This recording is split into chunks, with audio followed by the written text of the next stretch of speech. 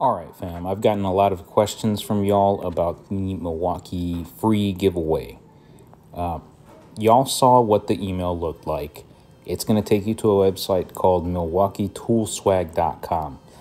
And you guys can share it. It doesn't matter because unless y'all have a redemption code, y'all aren't going to get anything. All right? So when y'all get this email, do not hesitate let's go through the options that are available. The hard hat and the gloves, I've already shown y'all. This is the one that Eugene picked. So y'all can see I really don't know what the difference is between those three different options, four options.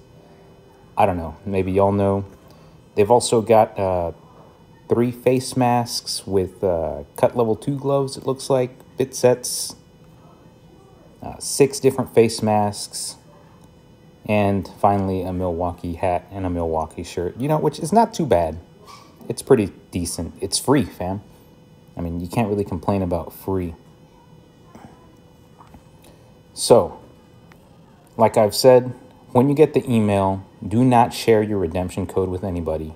That's your key to the chocolate factory. All right. Willy Wonka won't let you in without that key.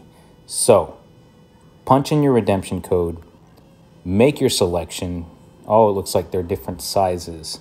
So definitely, definitely don't hesitate, fam, because you don't want to be stuck with the extra smalls, all right? Leave that for tools with souls.